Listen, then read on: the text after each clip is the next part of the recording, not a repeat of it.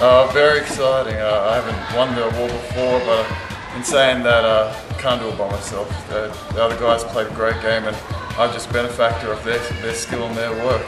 I just happened to be in the right place at the right time, so it was one of those. Uh, one of the, both the games just one of those games, which was uh, lucky for me, I guess.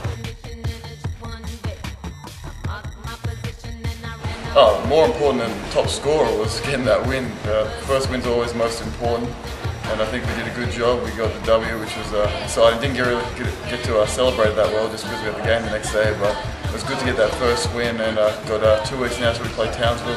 So, so hopefully we carry that form into our next game.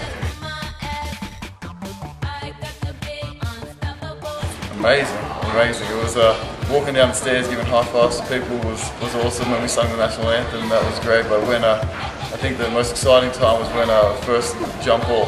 I just took a second when I was uh, shaking the ref's hands to have a look at the crowd and I see the place almost full. I could hear, I could see my uh, friends and family up in the side there. So it was, uh, it was a great feeling. Uh, obviously disappointing not to win. I think uh, as a basketball player you want to win every game.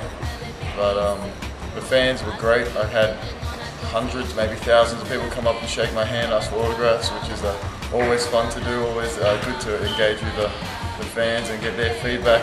We had eight and a half thousand coaches there telling us what we could have done better. So that's all right, I enjoy that. Yeah, make sure you come, bring your friends. Uh, we want to get 10,000 people. I've never played in front of in that place uh, sold out, so that'll be a great experience. Hopefully, uh, with you guys, we'll be able to get more wins at home and uh, be the best home crowd.